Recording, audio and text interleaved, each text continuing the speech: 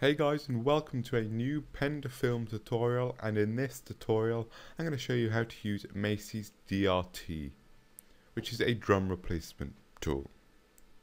It's a free plugin or you can pay for a version which has a lot more features included but for what I want to do and what we're going to do in this tutorial it fits the bill perfectly.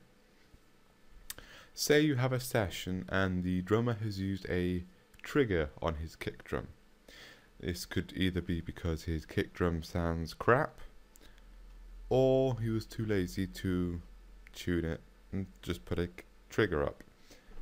Either one, I don't really mind. With this plugin, it's a really simple fix, and at least then I can choose the sound of his kit. So here we have a kick trigger which sounds like this.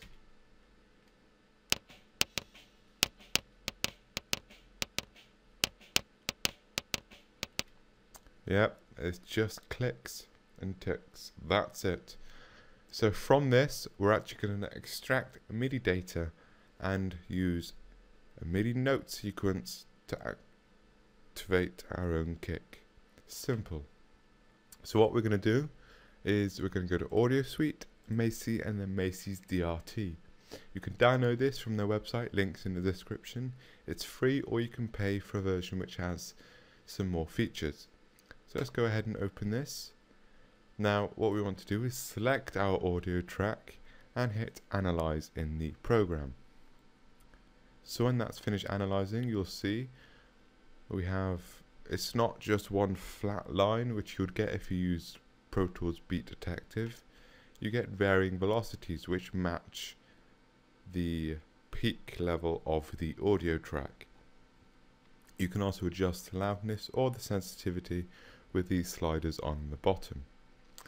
So now what we're going to do is we're going to click on this MIDI drag and drop and just drag it down so it matches the beginning of the track.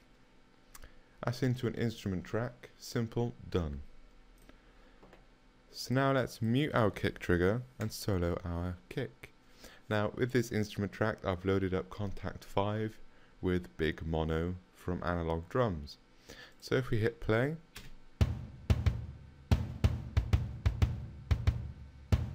can hear our kick. And if I unmute the kick trigger, you'll hear that they match up perfectly.